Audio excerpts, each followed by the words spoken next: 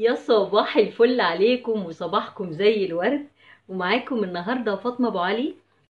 وهنقدم مع بعض النهاردة سمبوسة بشكل جديد وسهلة جدا. اللي هي السمبوسة البيتي السهلة البسيطة جدا. بصوا عاملة إزاي؟ بصوا مفرغة عاملة زي الفطير بالظبط.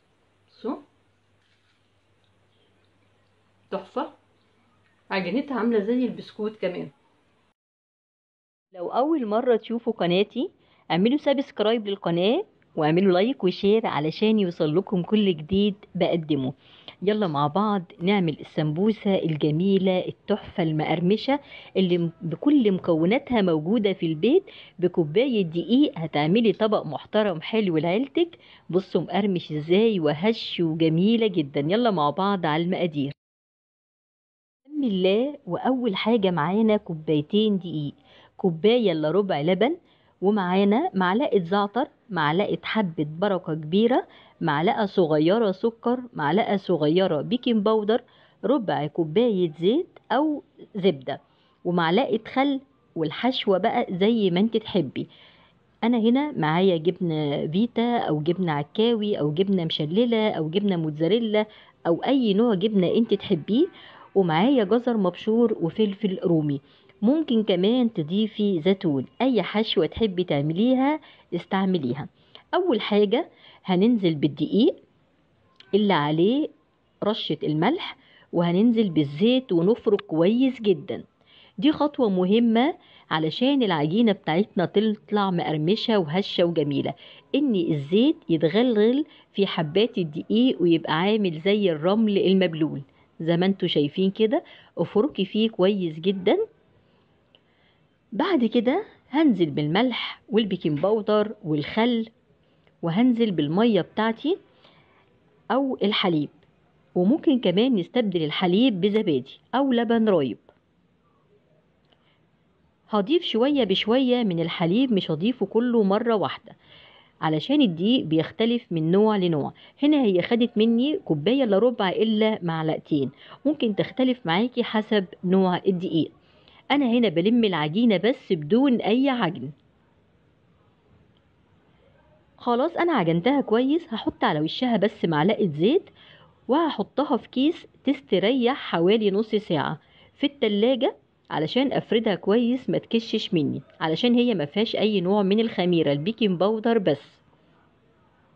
هنا بقى جهزي الحشوة بتاعتك هنحط الجبنة وعليها حبة البركة ومعلقة زعتر صغيرة ومعلقة حبة بركة وممكن كمان تضيفي سمسم زيتون مخلل.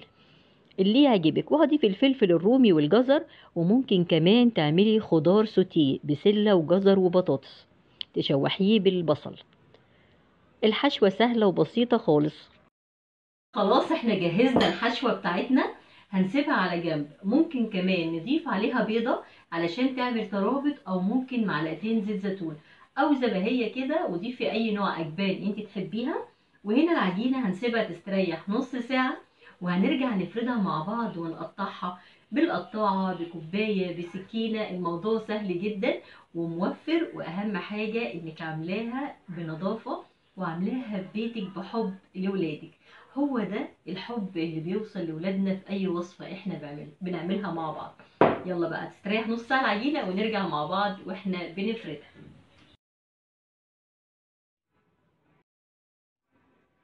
وهنا هنبتدي نفرد العجينة فوقها دقيق وتحتها دقيق رشة كده بسيطة علشان النشابة بتاعتنا ما تلزقش في العجينة. هنعملها بسمك أقل من نص سنتي بأي قطاعة عندك أو كوباية. هنا كان عندي قطاعة صغيرة هعمل حجم كبير وحجم صغير. هي هتبقى عاملة كده زي البراك طعمها جميل جدا وخفيفة وموفرة جدا. والعجين اللي هنشيله هنلمه بدون ما نعجنه ونحطه في الكيس وبرضك نبتدي نقطعه تاني في الآخر. قطعي كده ورصي على الصينية بتاعتك. الحجم اللي يريحك اعمليه ممكن كمان تقطعيها بكوباية. هبتدي هنا بقى أحشي. هنا هحط اتنين على بعض من الحجم الصغير اللي أنا عملته بس أهم خطوة تلزقيهم كويس جدا. ممكن نعمل لها عجينة مية ودقيق نلزق بيها الأطراف علشان ما تتفتحش خالص أو ممكن نضغط عليها بالشوكة. الحشوة دي اختيارية زي ما انت تحبي وممكن كمان نعمل كمية ونفرزها في الفريزر نطلع منها كل يوم قبل الفطار ونقليها تبقى الموضوع سهل علينا. دي برضك من ضمن الحاجات اللي بتتفرز يعني عشان مش كل يوم ممكن نعمل عجين. اضغطي كويس جدا عليها وكمان هنضغط عليها بالشوكة بالشوكة زيادة تأكيد هنا بقى دي هقفلها اللي هو زي شكل القطايف بصي الموضوع سهل وبسيط جدا ومش مكلف. يعني ممكن كمان لو انت عايزة بقى تاكليها طازة بطازة ممكن كل يوم تعملي كوباية. بالشكل ده. وثبتيها بقى جامد بالشوكة علشان ما تفتحش أثناء القلي. هنا بقى هنزينها بشوية حبة بركة. هنبل الفرشة مية بسيط ونبتدي نرش حبة البركة أو نعمل العجينة اللي قلتلكوا عليها ونلزق بيها. هخلص بقى كل المقدار بتاعي. كمان العجينة دي ممكن نستعملها عجينة حلوة. ممكن كمان نحشيها أي نوع مكسرات أو عجوة أو أي نوع تحبيه. ممكن كمان نضيف القراصية والمشمشية والتمر ونعمل لها حشوة حلوة جدا ونسقيها بالسيرب. بصي يعني الخ... العجينة مرنة جدا ممكن تحشيها أي حشوة تعجبك. لمي بقى كل التقاطيع دي كلها وحطيها في كيس وكمليها بعد كده. هخلص كل المقدار بتاعي بالشكل ده. ممكن كمان نقسم نقفلهم على بعض ياخدوا شكل حلو برضو. بصوا هنا أنا رشيت عليها حبة البركة لأن أنا عملت الفرشة بالمية. وحضري بقى زيت سخن عميق وابدأي حطي السمبوسة بتاعتك. يعني قبل الفطار ممكن نقليها ونحطها في مصفى ما يبقاش فيها أي زيت أو نطلعها على مناديل مطبخ مش هنحط كمية كتير في الزيت علشان ما تشربش معانا زيت. ومهمة مهم جدا إنك تضغطي عليها بالشوكة علشان ما تفتحش أثناء القلي. هنفضل نقلي فيها كده لحد ما تاخد اللون الذهبي.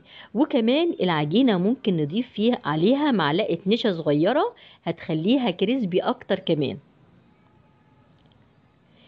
اللون اللي انت تحبيه طلعيها من الزيت على الأساس دوت لو عايزاها ذهبي فاتح أو ذهبي غامق. مهم جدا إن نصفيها كويس جدا من الزيت.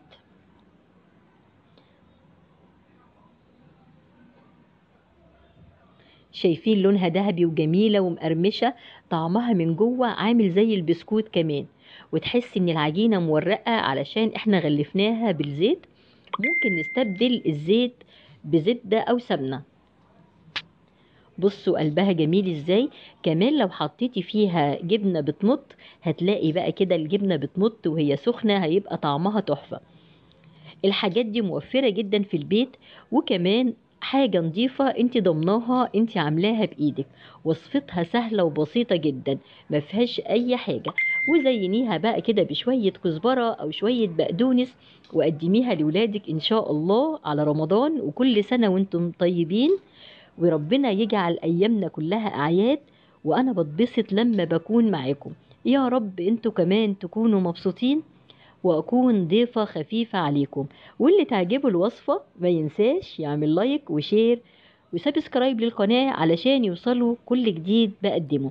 ولمتابعتي على الفيسبوك تابعوا صفحتي حبهان ومستكة وعلى اليوتيوب مطبخ فاطمة أبو علي. أنا اتبسطت إن كنت معاكم وأسيبكم في رعاية الله ونتقابل في وصفة جديدة إن شاء الله. والسلام عليكم ورحمة الله وبركاته.